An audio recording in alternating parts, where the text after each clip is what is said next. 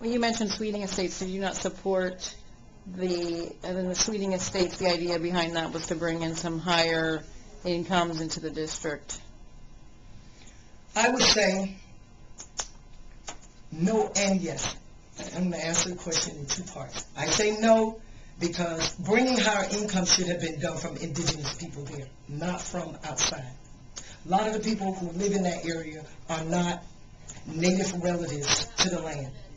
Sweeting Estates should have been developed. That was one of the, Mrs. Sweeting in the 1930s spent many years and many dollars concerned about the people. Mhm. He was a man concerned about the, the convalescence of, of a community.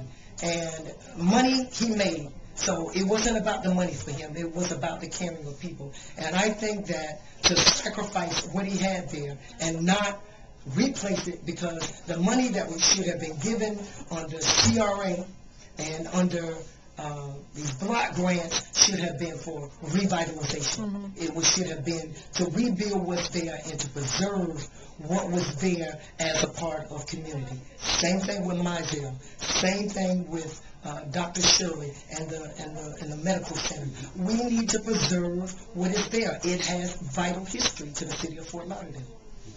All right.